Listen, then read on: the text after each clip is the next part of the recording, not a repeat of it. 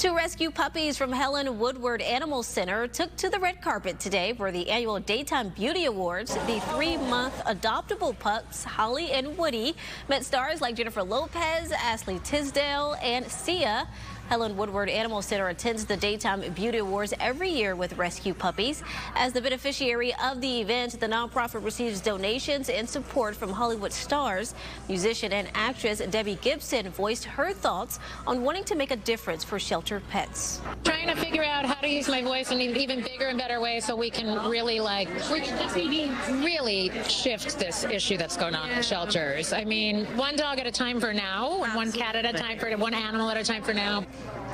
The award show spotlights health and wellness professionals and medicine, health, and fitness.